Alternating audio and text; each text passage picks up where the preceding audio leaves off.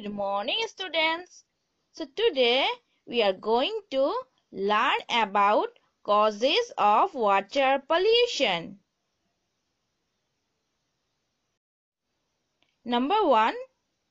Water is polluted from bathing, washing clothes and getting cows or buffaloes into water. Number 2. Water is polluted by the factory wastes and industry wastes sent out to rivers and streams. Number 3. Water is polluted by throwing garbage into water bodies like lakes, ponds, rivers and seas. Number 4.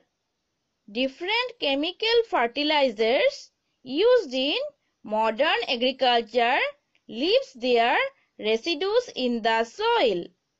These get mixed with rainwater, washes them away to rivers, streams, ponds and pollutes the water.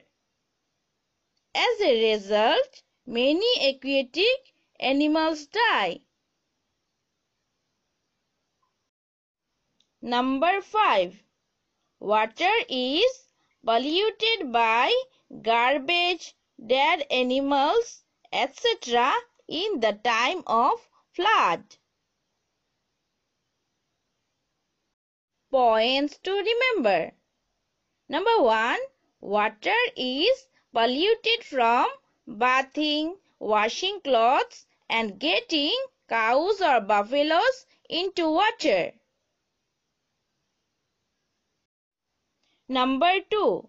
Water is polluted by the factory wastes and industry wastes sent out to rivers and streams.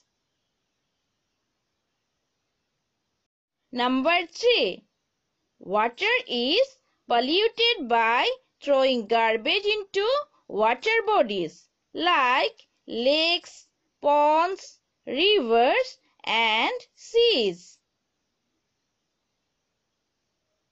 Number 4. Different chemical fertilizers used in modern agriculture leaves their residues in the soil. These get mixed with rainwater, washes them away to rivers, streams, ponds and pollute the water. Number 5. Water is polluted by garbage, dead animals, etc.